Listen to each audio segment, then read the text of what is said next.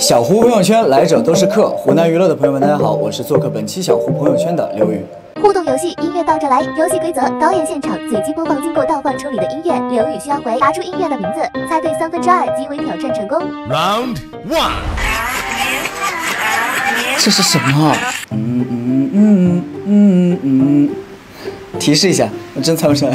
是韩文，韩文。要不咱过吧？过过过，Queen 听 Card，是的，谁能听出来？Round two，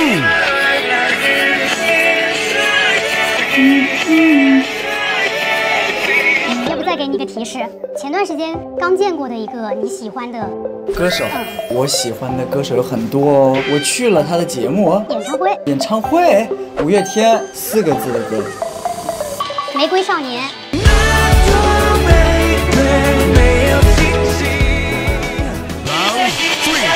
有点熟哦，怎么像民歌啊？你都有点熟了，你很熟。民族风，这肯定是个民族风，不是不是民族风。我们一起闯，对对对，是吧？我开始有那个听觉恢复了一点。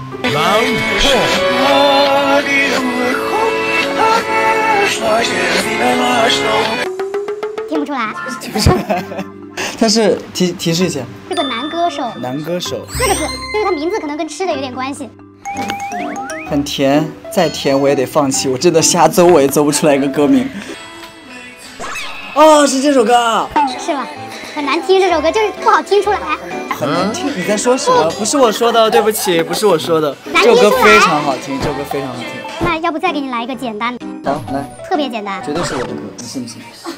哎呦，是的，是的，哎呦。绝对是。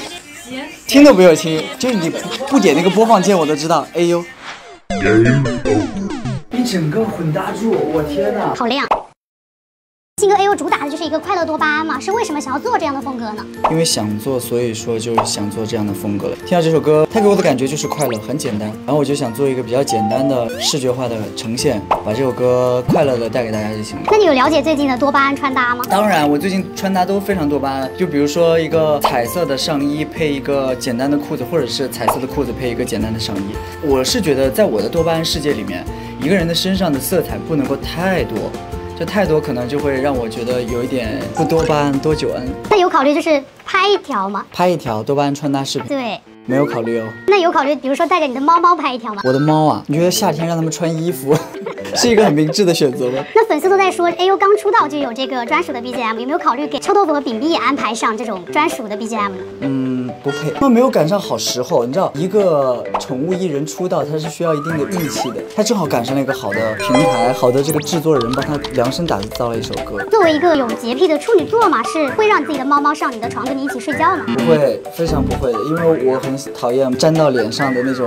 痒痒痒的感觉，所以我是觉得他们属于要有一个自己的空间。那其实你抓狂的时候，可能就是猫毛粘到自己脸上的时候。还好，我基本上不怎么抓狂。第一次做这个 MV 的出品人有什么不一样的感受吗？学习到真的蛮多东西的。前两年在团里的时候，就是很多都是会老师们帮我们做嘛。然后这次做完自己的东西之后，发现细节的把控上面啊，整体节奏上面都是很复杂的一个工作。自己参与到这个创作当中，真的感觉在短时间内就可以接触到很多不同的信息，然后对于之后的概念又有了一个新的框架，就会更有信心和感觉，想要去把第二张专辑给做好。所以这个 MV 里面到底一共出现了多少个 AU？呃，三十七个，你真的是一个一个去数了吗？是的，那我要回去核实一下，我现在也不知道多少。是吧？你也不知道，因为我也不知道，我也是骗你的。乱说。但是我说的很有自信，你不觉得吗？是的，是啊。我差点被你框住了。正在看的赶紧去数一下到底有多少，我自己都没数过。那现在是已经有校园版、公路版，还有网球场的那个版本嘛？嗯之后会考虑出一个广场舞的版本吗？广场舞啊，这首歌还蛮适合广场舞的，那可能就需要呃阿姨们费尽自己的脑袋想一想这个舞蹈，因为原版编舞就挺适合广场舞的了。如果我在路上看到了，我会进去和他们一起跳。最近和杨超越合拍的那个习武挑战是上了热搜嘛？社恐是怎么去说服一个不爱跳舞的人和你一起跳这个合拍舞蹈的视频的？我当时进去的时候，他正在妆发，因为我们是第一次私下见面，然后我就和他先建立了一个社恐之间的 呃社交关系，然后我就给他看了这个舞蹈视频，我没有当场的就想找他拍，因为我知道像我们这种性格的人，就是 你突然找过来，我会有一个需要时间接受的一个过程，然后把这个视频发给他之后，他可能经过了一段时间消化呀，然后就接受了，然后我再去找他拍，然后就非常顺利的拍了下来。之后还会有其他的朋友会加入到这个洗衣舞挑战吗？当然，我刚刚录制节目的时候就和朋友一起拍了这个挑战。粉丝说 MV 里面就是你身兼数职，洗衣店、送外卖和修车三大副业。如果让你选的话，你最喜欢哪个？我曾经幻想过送外卖，我一一直有个梦想就是开甜品店。就我想，如果我自己做甜品，我再去体验一下这个外卖员，我在运送的过程当中，怎么样去保护我的甜品送到客户的手里，它是完好无损的。你要在店里 PO 出来的图片是那么漂亮，但是送到手里一团糟，肯定不行。那也期待你早点开启你的甜品店。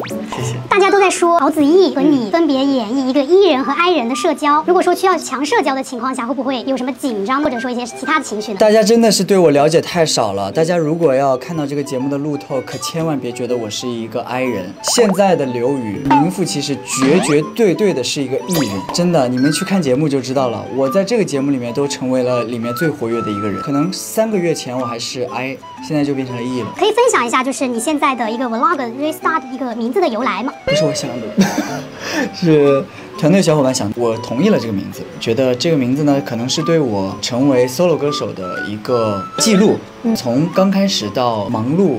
再到空闲，再到生活，其实串联起来记录下来，也是算对于我的之前的一个总结。那你自己有参与到这个 vlog 的一个制作当中去吗？前几期其实并没有过多的自我创作，因为那个时候特别忙，然后整体的节奏都还没有顺过来。那现在慢慢的，其实有了很多自己的想法在里面。就比如说每次拍摄之前都会和纪录片老师说，我想要什么样的风格，我们会复盘。就比如说我看了这期节目，我会和大家这里的转场要用什么，这里的片头我觉得不好要删掉，啊这里的滤镜可以再加一点，就这种。从那个创造营出道至今，你自己有没有觉得什么特别遗憾的，或者觉得很庆幸的事情呢？倒是没有什么遗憾，我是一个不太喜欢遗憾的人。就比如说我今天舞台上哪一句没有唱好，我不会把这个遗憾的这种事情想得太久，或者是影响我太久，因为我觉得那都是前一秒的事情。我觉得最重要的是你如何看待接下来的事情。如果你有遗憾，你如何用更好的作品去弥补那个不好的回忆，就会一层一层往上走，这个才是最重要的。之后有没有要开启一个巡回演唱会的计划呢？巡回目前的计划倒是没有，我是想先把这个第一场给好好的亮个相。好，这个难不倒我，我很可厉害了。下一个参加湖南娱乐采访的朋友们，要跳刘宇的 A U 挑战舞蹈，准备好了吗？接受挑战吧。